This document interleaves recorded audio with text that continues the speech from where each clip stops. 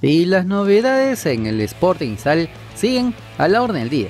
Como se sabe, esta tarde se comunicó la no continuidad del técnico brasileño Enderson Moreira en el club rimense.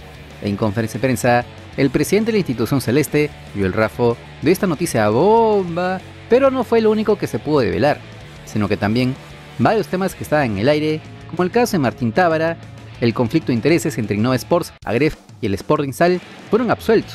Además, también hablaron del tema de Lima City, del que se estuvo especulando en los últimos días. Todo esto en palabras del gerente legal del club, Guillermo Montoro.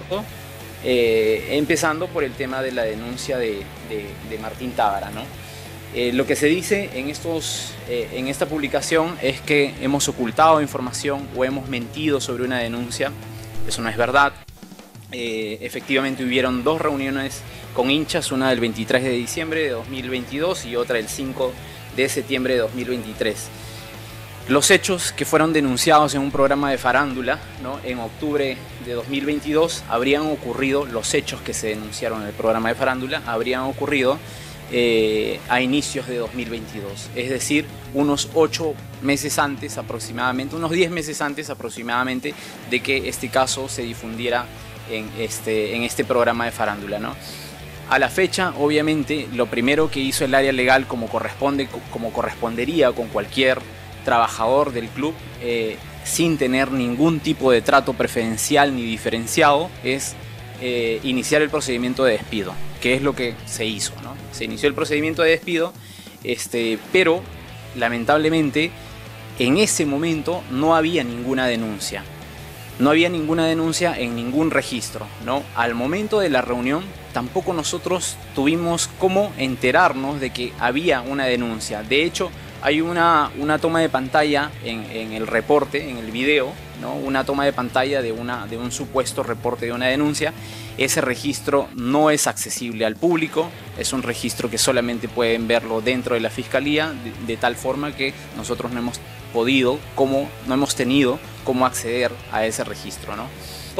Este, es importantísimo que todos sepamos que ni siquiera la denuncia hubiese justificado un despido, un despido justificado. No sé si aquí hay abogados con nosotros, pero eh, sabemos que eh, el, decreto legislativo 728, no quiero extenderme mucho en normas, pero establece claramente que una causal de despido no es una denuncia, sino una sentencia penal firme. Eh, es sobre el conflicto de intereses. ¿no? La pregunta que se hace en el tweet y que, se hace mucho en redes sociales es, ¿hay conflicto de intereses? No, este, no, no hay conflicto de intereses. De hecho, se hace alusión a un reglamento, ¿no? que es el que tengo, este reglamento que tengo aquí, que es el reglamento de agentes de la FIFA. ¿no? Es un reglamento que entraba en vigencia en octubre de 2023. ¿no? Este, pero para que sepan todos, es un reglamento que para empezar no incide sobre los clubes o no regula a los clubes, incide sobre las agencias de representación de, futbolistas, es decir, regula las agencias. Y lo que busca sobre todo es que, que, clubes o jugadores no tengan injerencia o no tengan participación o no tengan algún tipo de interés en agencias. ¿no? Entonces a la pregunta, Club Sporting Cristal, ¿tiene algún tipo de interés algún tipo de influencia en alguna agencia, no lo tiene. No lo tiene. No hay, no hay forma de, que lo tenga. Eh, se dice mucho que la cantidad de jugadores o el porcentaje de jugadores que pertenecen a la, a, la, o que están vinculados con la compañía Agref ha aumentado, ¿no? Desde que Innova compró el club. Eso no es verdad. De hecho, más o menos aproximadamente eh, estamos hablando de que antes de, que, de, 2019 o de la fecha en la que se comprara el club, el porcentaje de jugadores vinculados a la, a la compañía Agref eran de un aproximado de 40%, el porcentaje. Es decir, el 40% de deportistas vinculados a la agencia Agref estaban en Sporting Cristal. Actualmente el porcentaje es de 35%.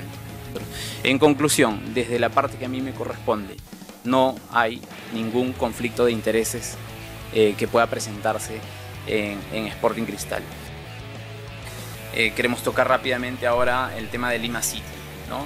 Eh, Lima City SAC, según esta, esta suposición, Valora Construcciones se convirtió en Valora Fútbol y luego en Lima City. No tiene ningún sentido esa afirmación, no es verdad, no es cierto. Pero yendo al fondo, ¿qué es Lima City? Lima City SAC es una empresa que eh, se constituye el 21 de febrero de 2018 ¿no? este, eh, por el grupo Innova Sports. Los accionistas son Joel Rafo y el señor Enrique de la Piedra, ya, eh, para encargarse de organizar torneos, organizar eventos deportivos y para que promover a deportistas, sobre todo deportistas menores. ¿no? como saben, un año después, más de un año después, eh, el grupo Innova Sports decide comprar Sporting Cristal. ¿Qué es lo que se identificó? Que son dos cosas distintas las divisiones de fútbol formativo de Sporting Cristal que la academia. La división de fútbol formativo pertenece al fútbol federado, ¿no? se promueven chicos, hay cartas pases, hay derechos del club sobre estos menores, ¿no? que son las divisiones de fútbol formativo. Por otro lado está la Academia de Sporting Cristal, que es una academia como cualquier otra academia de fútbol, como la Academia Cantolao, como cualquier otra academia de fútbol, donde un padre viene y paga una, una mensualidad, una pensión mensual, para que a sus hijos le enseñen fútbol, le enseñen a jugar fútbol, le den clases de fútbol. Sin embargo, se identificó que se podían identificar en beneficio del club, siempre en beneficio del club, se podían identificar en estas academias se podían captar, se podía aprovechar que hacen sus actividades deportivas aquí para identificar talentos y eventualmente llevarlos a las divisiones de fútbol formativo. Pero lamentablemente la academia, como estaba estructurada antes, no podía participar en competiciones oficiales organizadas por la federación, que son competiciones que realmente tienen alta competitividad para ser claros y ya para terminar con este punto, no Lima City no tiene absolutamente ningún interés que no sea subalterno a los intereses de Sporting Cristal. Si bien el club rimense ya dio su versión oficial, esto de poco sirvió, ya que sus hinchas no le creen estos palabreos, tal como no le creen a su presidente cuando dijo que no era hincha de la U, sino del Sporting Cristal. Sin embargo, tal como se los avisamos en el video anterior, ahora las novelas que se adquirirán serán por conocer el nuevo comando técnico. En esa línea, en RP, se dieron algunos alcances al respecto.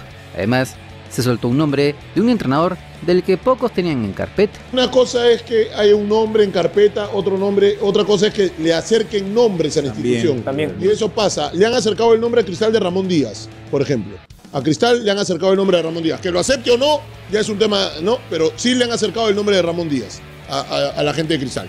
Eh, porque ¿Tú, tú, crees que está, ¿Tú crees que está bien? O sea. No, para mí no. No, no está bien. Yo creo que el momento hoy de Cristal, mm. eh, por, por, el momento que vive y que, que Cristal necesita una identidad, un matrimonio, que el matrimonio hinchada club, hinchada jugadores, vuelva a ser el de antes, creo que cae de perilla para que Jorge Cazulo sea el técnico de Cristal. Que ya sacó campeón en Cristal en la reserva y creo que podría ser una buena alternativa a Jorge Cazulo. para mí, ¿eh? Sí. Ahora, el principal objetivo en la Florida es contratar al nuevo técnico del club rimense. Y luego recién, cuando tengan al nuevo entrenador celeste, se determinará qué jugadores salen del club vía préstamo o venta, como son los casos de Fernando Pacheco, Diego Toya, Kembol Guadalupe o el mismo Martín Tábara, sin mencionar que con el nuevo técnico se tendría que evaluar a qué jugador del exterior traer con el cupo de extranjeros que aún mantienen en la Florida. La cosa es que las aguas están más movidas de lo que estaban en el RIMAC.